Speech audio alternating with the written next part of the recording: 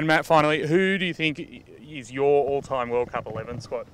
Yeah, tough question. Um, we'll start with the openers. I think uh, Adam Gilchrist and uh, uh, Virender Sehwag. Uh, Ricky Ponting, number three. Um, number four and five. Oh, we'll have to go Tendulkar, number four. Oh, Lara, Lara, number five.